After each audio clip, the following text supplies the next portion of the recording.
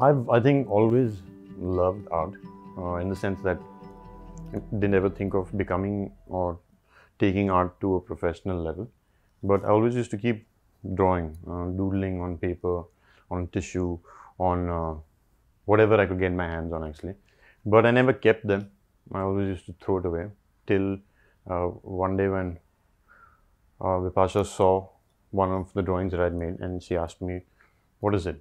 And I explained it to her. It was called, it's called Dreaming Birth. So I explained what it meant and she said that it's, that sounds nice. Why don't you try to do some more? And then I did lots more and that's when it started. So about three years ago.